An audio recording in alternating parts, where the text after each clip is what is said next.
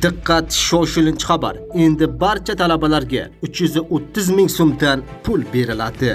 Tezkor xabarlardan birinchilardan bo'lib xabardor bo'lish uchun video ostiga like tugmachasini bosib qo'yishni unutmang. Like bosgan insonning qo'llari Ka'batullohning devorlarini ushlasin. Diqqat qiling, talabalarga har oylik ijara to'lovi uchun 130 ming so'mdan pul beriladi.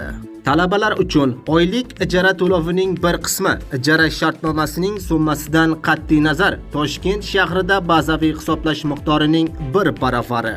Qolgan hududlarda bazaviy hisoblash miqdorining yarim baravari miqdorida to'lanadi.